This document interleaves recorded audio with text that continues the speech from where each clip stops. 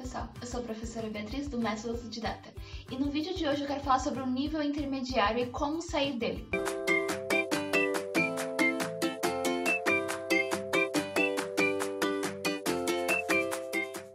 Do nível básico ao intermediário é muito mais fácil, você sente muito mais essa evolução, você sente que está conseguindo aprender e é uma parte mais motivadora da aprendizagem de idiomas. Já quando chegamos no nível intermediário, sentimos que não estamos aprendendo com a mesma velocidade e acabamos nos desmotivando. Isso pode ser porque nós não estamos percebendo a evolução, porque do zero para o intermediário é muito óbvio, é muito fácil ver que estamos evoluindo, porque não sabíamos nada e agora percebemos que conseguimos entender mais coisas, conseguimos montar algumas frases. Já no intermediário, essa percepção é mais difícil de conseguir notar. Então é importante você fazer algo para conseguir medir essa evolução, para conseguir notar que você não está no mesmo lugar, porque é essa sensação, quando estamos no intermediário, sentimos que não estamos evoluindo. Algo que eu gosto de fazer para testar minha evolução e me sentir mais motivada para ver que eu ah, consegui aprender é ver um vídeo que eu não tinha entendido muito bem há um tempo atrás, então digamos um mês, dois atrás, assistir novamente esse vídeo e perceber se eu consegui entender mais coisas do que antes. Se o vídeo ficou um pouco mais claro para mim depois que eu assisti novamente. Você também pode medir isso lendo um texto que não tinha entendido 100% novamente e ver se dessa vez você consegue entender melhor, ou um livro.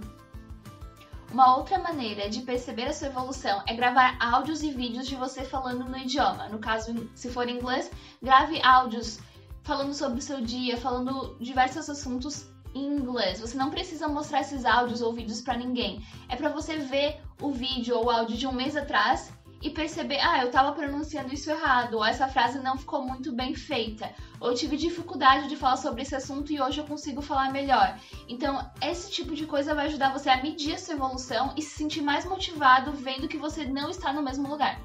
Outro erro de quando estamos no intermediário é continuar fazendo as mesmas coisas que fizemos para sair do básico para ir ao intermediário. Você precisa mudar os materiais, você precisa de algo mais avançado para conseguir sair desse nível. Porque se você continuar usando os mesmos métodos, você vai acabar ficando no mesmo lugar. Até porque para sair do zero, qualquer material vai te ajudar, tudo é novo, então tudo que você tiver contato você vai aprender. Agora com o intermediário você vai ter que saber escolher melhor. Então você precisa aumentar a dificuldade dos materiais que você está usando. Seja isso ler um livro mais complexo ou ver uma série sobre um assunto mais difícil e aumentando essa dificuldade. Se está muito fácil, se você consegue entender tudo, você não está avançando, você precisa de algo mais difícil. Outro problema que eu encontro é que na internet tem muito conteúdo pro básico. Para todos os idiomas, a maioria dos aplicativos, a maioria de lugares que está ensinando idioma está ensinando no básico, porque é muito fácil de agradar um público que está no básico. Se você não sabe nada, qualquer assunto é útil. Você está agregando alguma coisa em qualquer assunto. Já o intermediário pode ser diferente para diferentes pessoas. Então, por exemplo, você está no intermediário, às vezes você não sabe um assunto que outra pessoa do intermediário sabe. E às vezes aquele outro assunto é muito fácil para você e para outra pessoa é difícil. Então você mesmo tem que saber avaliar o material, saber se aquele material está muito fácil, se você já sabe aquele assunto, ou se está muito avançado. Então é um, uma fase difícil porque você mesmo tem que saber lidar, ver se o material é bom o suficiente ou não para sua aprendizagem. E com isso também é muito importante sempre estudar o material com um degrau a mais, ou seja, que não seja muito fácil que você entenda tudo e nem muito difícil que você não entenda nada. Tem que ter um grau de dificuldade para você poder estar aprendendo, evoluindo, mas não pode ser muito avançado para você se frustrar. Se você ainda está tendo problemas com listening e não consegue entender muita coisa em inglês, eu tenho um vídeo tudo sobre isso, como melhorar o seu listening, eu vou deixar aqui em cima e também na descrição. Agora, se o listening não é o problema para você, se você está naquela famosa fase, consigo entender tudo, mas travo na hora de falar, eu vou te dar algumas dicas de como destravar o seu inglês, que foi o que eu usei para conseguir falar inglês. Para conseguir falar inglês ou qualquer outro idioma naturalmente, você precisa conseguir pensar naquele idioma. E o que eu fiz foi, eu consumi muito conteúdo em inglês, por exemplo. Então, eu escutei muita música em inglês, muita série, li muitos livros.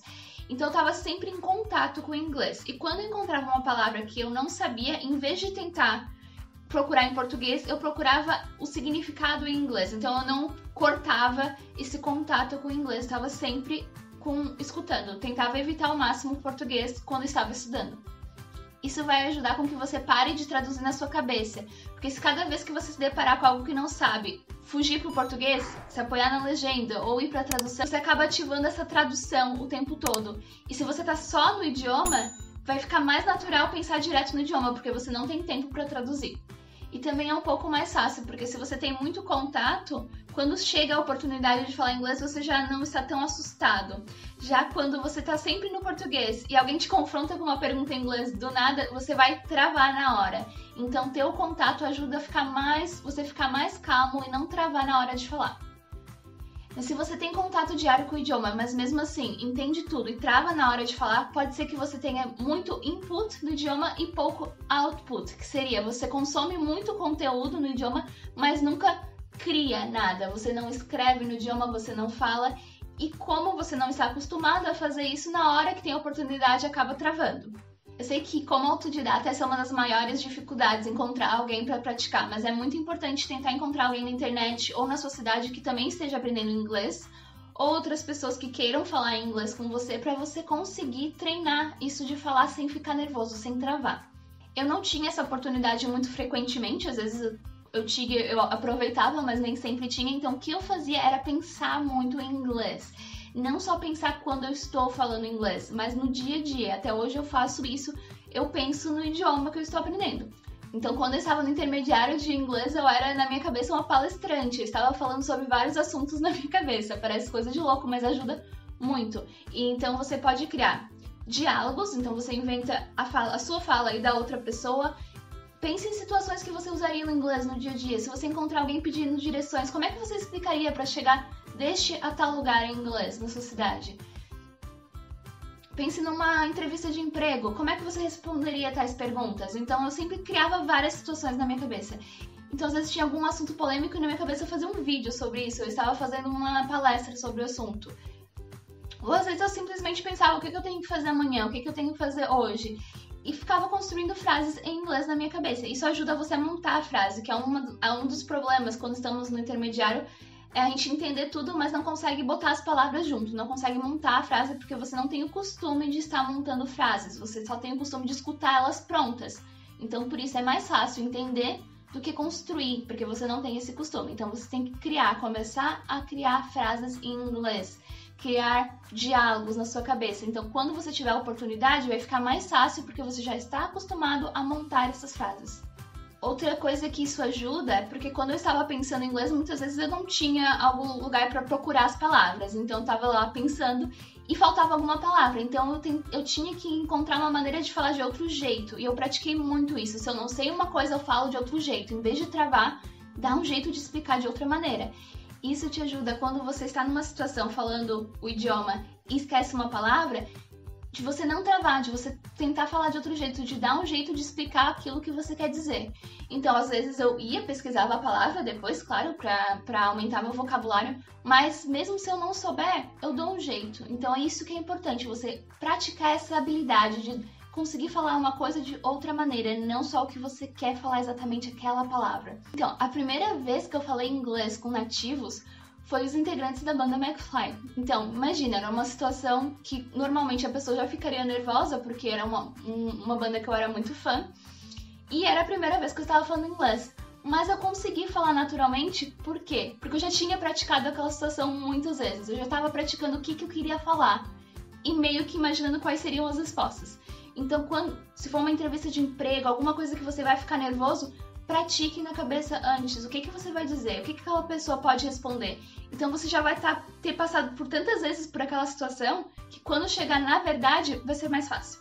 Mesmo que no seu dia a dia você não tenha muitas oportunidades de praticar inglês, você deve procurar por essas oportunidades e se preparar para elas. Então, às vezes você faz aulas de inglês e nunca fala na sala de aula. O professor te pergunta em inglês, você responde em português.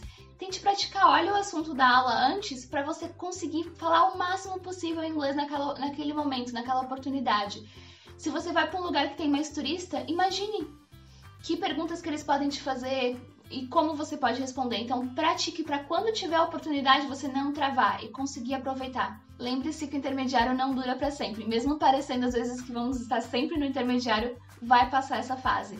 Você só não vai avançar se você se desmotivar e parar de estudar. Então, faça coisas que te motivem no idioma. E encontre uma maneira de conseguir medir a sua evolução também, porque é muito importante para se manter motivado. Se inscreva no canal para aprender inglês sozinho. See you on Tuesday!